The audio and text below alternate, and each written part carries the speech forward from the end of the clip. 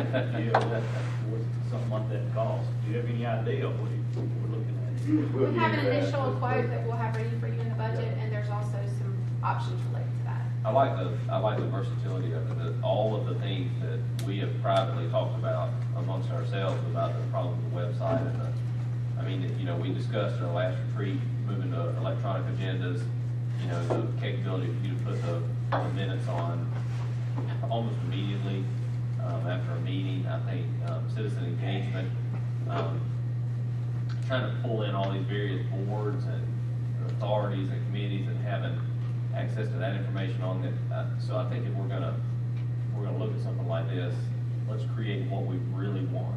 Let- Let's make what we really, really want the first time. But I, that looks like a, a tool that could do most everything we, we could imagine. We've been looking at solutions since that time, this is what has vetted itself to be what staff would recommend to be the best option at this time.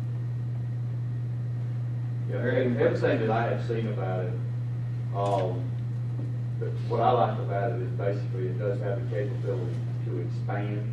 It has the capability to address basically all the issues that we might have out there. Um, and so again, um, you know, it is something that we're gonna have to consider, uh, but we need to put some serious consideration to it because what we currently have, as we, as, as we have said, is, is antiquated and really can't be improved on. So we're gonna have to do one or the other, but if we're going to do it, let's, again, let's, uh, let's be considerate of the fact that we wanna do it and do it right.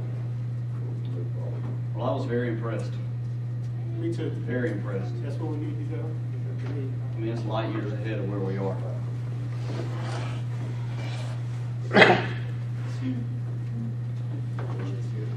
It's a, it's a function of business efficiency. We are a little bit ahead of time, but let's, uh, let's just, uh, let's go ahead and adjourn for lunch. And then we'll come back at, um, twelve forty.